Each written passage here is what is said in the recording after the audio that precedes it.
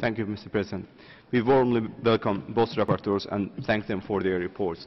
Azerbaijan is against the practice of unilateral coercive measures, which inflicts economic hardship on the in innocent population of the countries concerned. Azerbaijan deems the right to development as an inalienable human right, which is accepted as an individual and collective right. We acknowledge that the 2030 Agenda for SDGs, along with Declaration on the Right to Development, identify the states as main stakeholders, emphasizing that the states have primary responsibility for the creation of conditions favorable for the real realization of, of the right to development.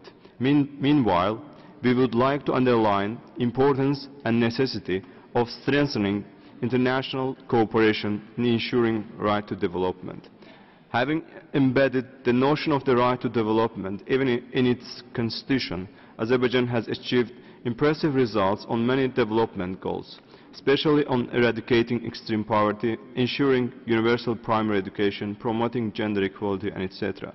Likewise, Azerbaijan also takes an active part in international development efforts to help the developing countries to address humanitarian and socio-economic challenges they face, in particular through the International Development Agency of Azerbaijan.